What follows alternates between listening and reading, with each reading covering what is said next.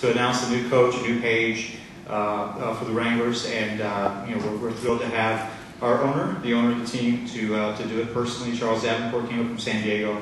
So, ladies and gentlemen, media, Charles Davenport.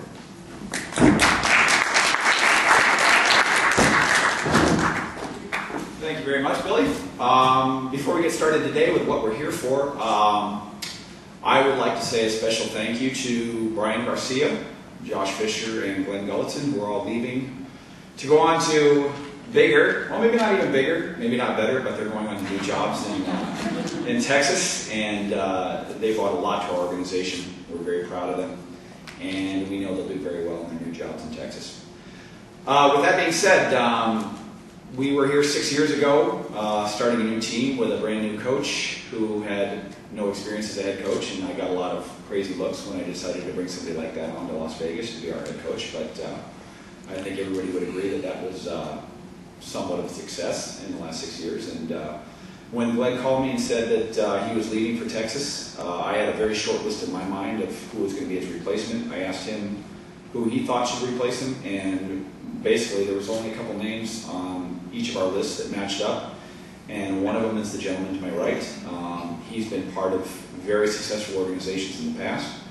Uh, he's a very hardworking guy. He's a guy that's going to be great for this team, great for this community.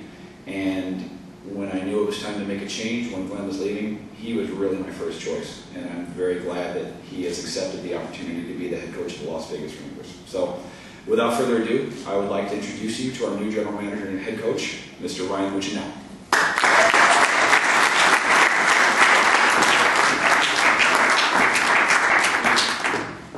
Well, thanks for the kind words, uh, Charles. Obviously, uh, I want to thank Charles and Billy for uh, bringing me in, and, uh, and obviously Glenn Gulutzan, who uh, we all know was a, a staple here, and, and, obviously a great coach, and more importantly, a great person. I think uh, filling his shoes is, is, is going to be a tough task, but a task that I'm extremely excited about. Um, Gully's done an amazing job of creating such a such a great culture around here where players are excited to come, and not just excited to come to Las Vegas to uh, to pursue their dream of getting to the next level, but uh, uh, excited to be part of the community. And that's one thing that uh, obviously I'm uh, very excited about talking to Glenn uh, at length about the community and the fans. And I think that's one thing that that Glenn talks at length about is how committed the fans are here and how committed obviously the ownership is. And I'm very excited. I've got a lot of work to do.